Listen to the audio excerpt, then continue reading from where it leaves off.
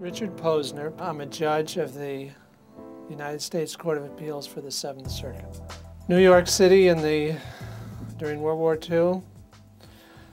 Well, of course, I was I was just a small child. Obviously, I was aware of the war, and um, we lived on the eighth floor of an apartment on Central Park West, and my friend lived on the sixth floor and I envied him because I thought if there, if a bomb fell, you know, it would it would hit the eighth floor before it got to the sixth floor. I remember the newsreels. New York has not actually changed much in its physical features or its crowdedness and so on. And uh, uh, we moved to Scarsdale in 1948 when I was nine.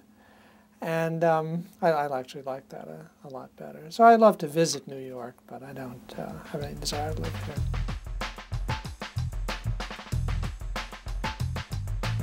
Oh, it's all a series of accidents. Uh, my father was a lawyer, and the law was kind of a, a residual choice for people who didn't have strong uh, uh, occupational uh, motivations. So when I was in college, I majored in English. I gave some thought to going to graduate school in literature, but didn't appeal ultimately for a variety of reasons. So I just went to law school. It was just a uh, default option. wasn't didn't have any particular passion for law or anything like that.